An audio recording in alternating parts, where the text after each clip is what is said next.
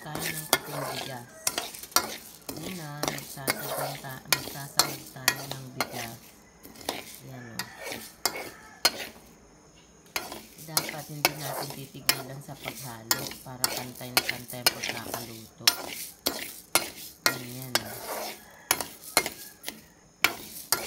Ito, dark na siya. Pero mas dark pa dito dapat.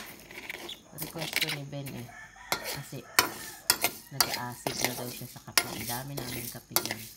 May barako pa. Tapos ito naman daw gusto niya. Gusto niya lang talaga akong bigyan ng trabaho.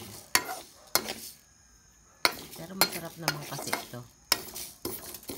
Okay. Pag ganito okay na, pwede na patayin yung apoy.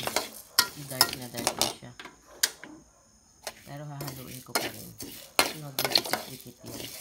Then, magsasalang ako ng tubig. Lalagyan ko siya ng at least mga tatlong baso yung laman ng sakore na yan. Lalagyan ko siya ng isang sandok. Isang ganito lang. Isang ganyan. Hanggang kumulo siya. At least 3 to 5 minutes.